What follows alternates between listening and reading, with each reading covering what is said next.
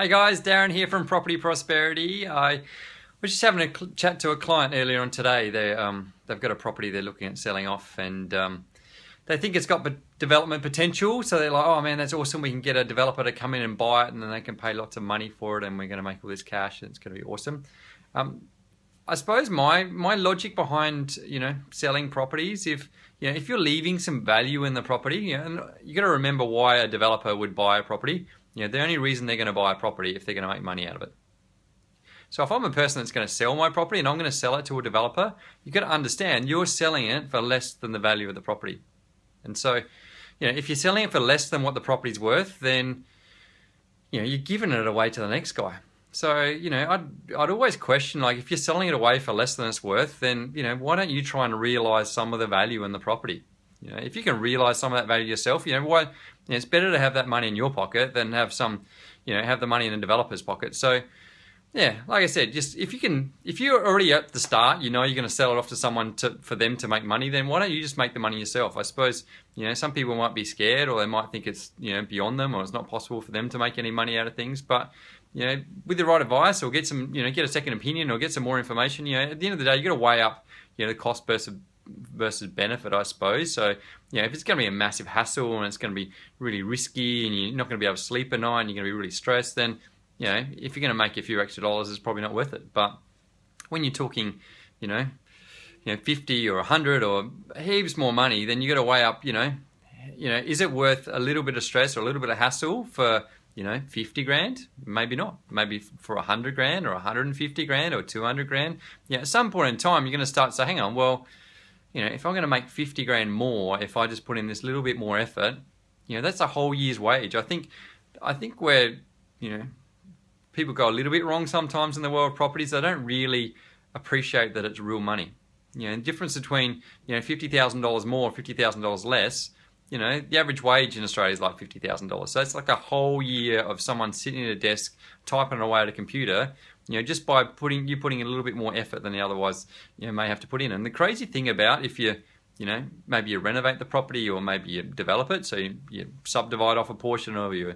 You know, if you do something a little bit more creative, it doesn't necessarily take that much more work. So, you know, just for that small amount of effort, you know, if you can make 40, 50, you know, a whole year's wage, you know, you might find you can actually hire other people to do the work for you. So, you don't actually have to do anything. Just to ring up someone, they come out and do all the work for you, and then you create all this extra value. Then when you go to sell it off, rather than giving away a develop away to a developer to buy it and and make all this money, you've you've got that money in your pocket. And it's not about the money; it's about what you can do with the money. You know, that extra fifty thousand dollars, or even if it's twenty thousand dollars, or it's hundred thousand dollars, whatever it is, that extra money allows you to do the next thing you want to do you know, and even that extra money might mean you've got some more money in the bank, so you're a little bit less stress, or you, you know, you can buy a slightly better house than you otherwise would have, or um, you know, you can take kids on a holiday. You know, so I suppose that's what I would caution people. If you're thinking, okay, well, cool, I, I just can't be bothered, I'm just going to sell off to somebody else, and and you already know there's some extra value in the property, then why not at least consider, you know, is there any way you can try and pull some of that extra value out of there? So so that's my advice today. So if you, if you know there's a bit of, there's potential value in the property, then you know maybe go off and get a bit of advice and just see you know see what's possible, you know, and then work out you know weigh up the pros and cons. Obviously, you don't want to go through all the hassle of developing a property and find out it's not worth it.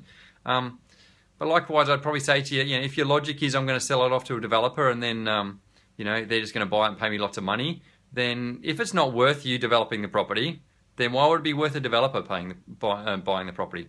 Because the situation's that you're always in a better um, situation where than a developer buying it because you already own the property. You know, a developer comes in and buys a property, they're going to pay stamp duty up front, so that's going to cost them some money. And you know, assuming they're not going to live in it, they're going to have interest they're going to be paying. You know, and also they've got the risk that they, you know, who knows what they can or cannot do. So you're in a situation that you you've got very little risk, and you can go off and investigate your options. You're already living in the house already, so it's not costing you anything as far as that go. You don't pay any stamp duty. You don't have any you know, interest or holding costs, they call it. Um, and then even you lodge an application, you find out it gets knocked back. You know, worst, what's the worst case scenario? You spend you know a few bucks to find out it's going to get knocked back. The cool thing about that, if it gets knocked back, a developer wasn't going to buy it anyway.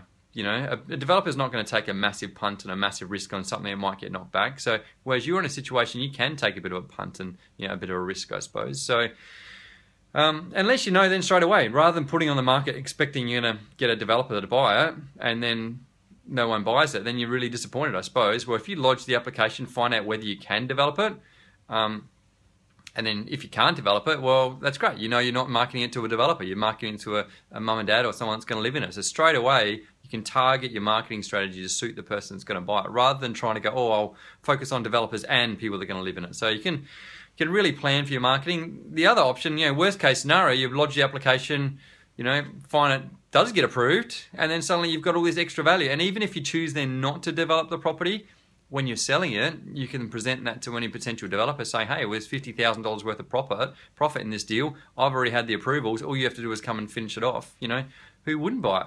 You know, you're taking away all that risk for the developer.